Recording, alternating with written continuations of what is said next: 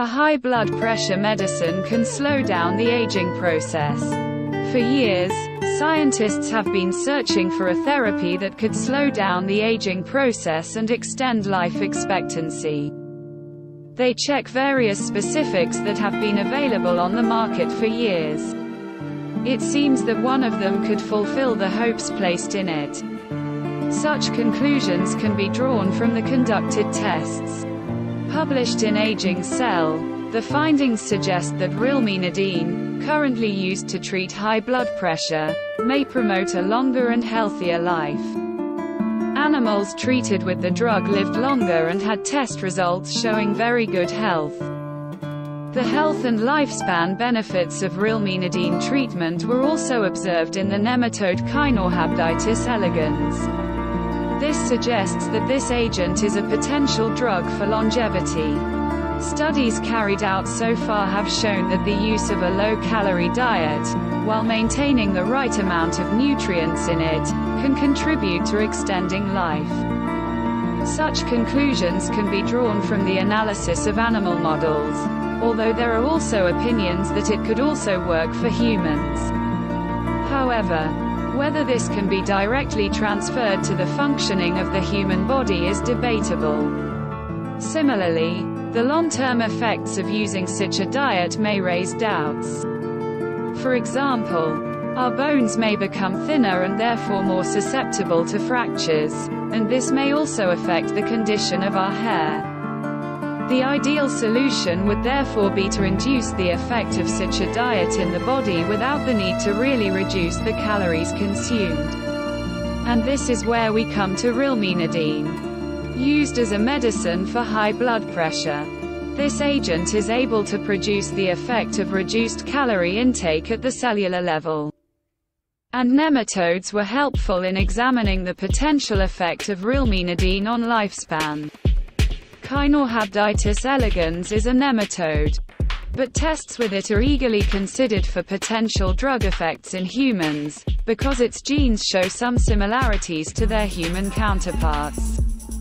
And it was these nematodes that were treated with rilmenidine. The results of these tests are quite promising. Under its influence, these, elegant, nematodes were actually able to live longer than under normal conditions. In the studies, their bodies looked as good as if they were on a low-calorie diet. However, this is not all. Because similar effects of rilmenidine were observed in the organs of mice, specifically in the tissues of their livers and kidneys. In their case, genetic activity analogous to what would occur with reduced caloric intake was noted here. In addition, scientists were able to identify the specific signaling receptor that is responsible for this effect of the drug in question on hypertension. It is called NISH1. Its role is so crucial in the whole process that if it is removed, rilmenidine automatically ceases to be effective in the field of potential life extension. However, Restoring this receptor equals restoring these extraordinary extra properties of the drug. In conclusion, Rilmenidine seems to be a serious candidate for a drug that could lead to the extension of human life in the long term. It is already widely prescribed, taken orally, and its potential side effects are not serious. Palpitations, Insomnia or hypersomnia are mentioned here. However, the use of rilmenidine in humans in this capacity is still a long way off.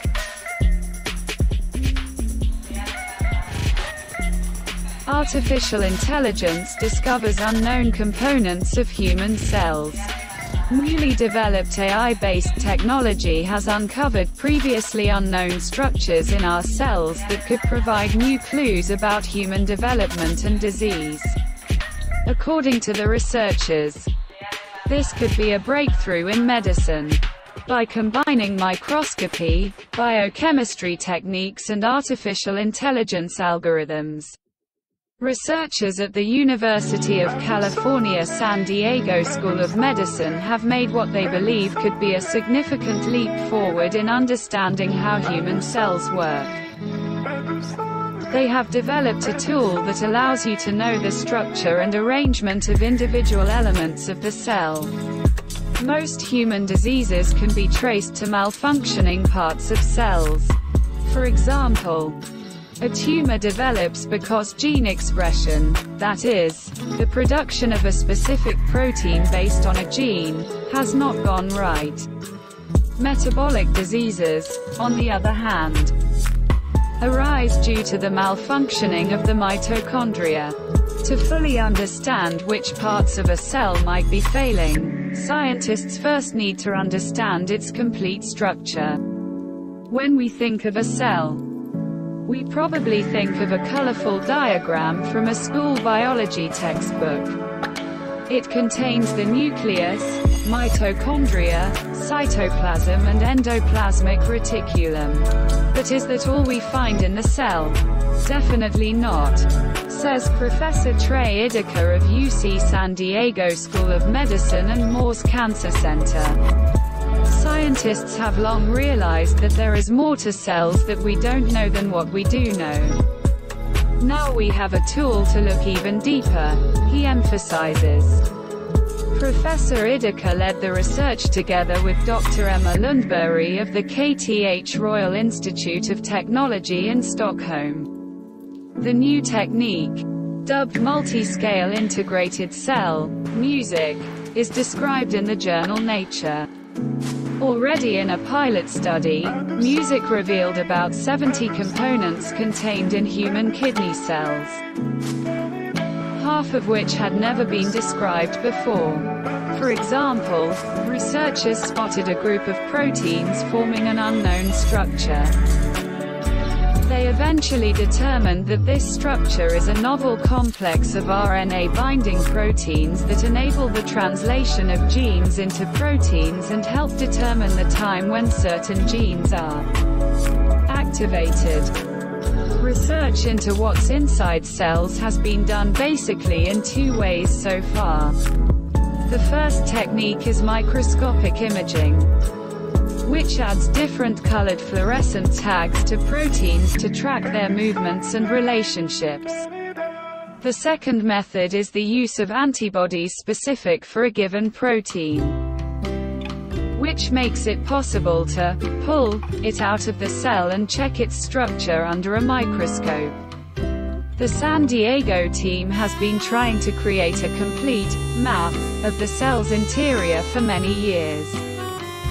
Now, music uses deep machine learning algorithms to accurately read the structure of a cell directly from microscopic images. The combination of these technologies is unique and powerful. For the first time, we are combining measurements made at very different scales, says study co-author Yue Qin, who works in bioinformatics and systems biology at Ideker's laboratory.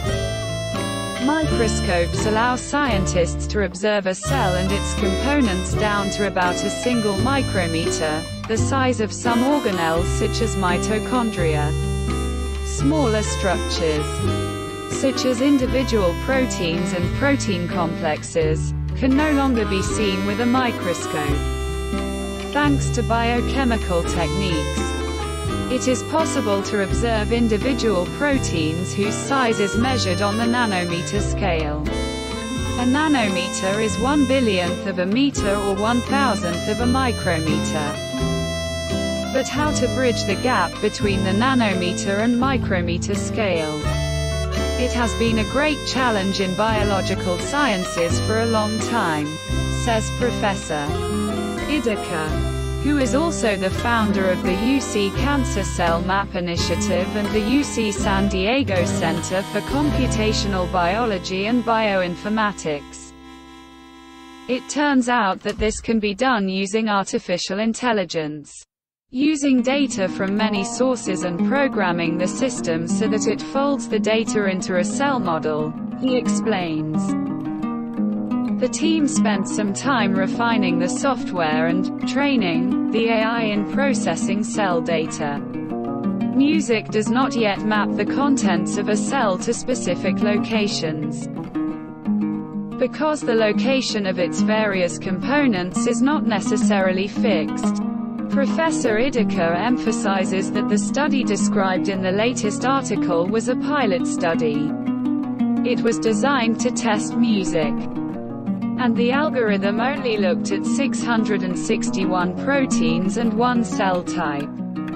The next step will be to study the entire human cell and all its components, says Professor Ideker. Then we'll move on to research on different types of human cells, and then on to research on cells from other species.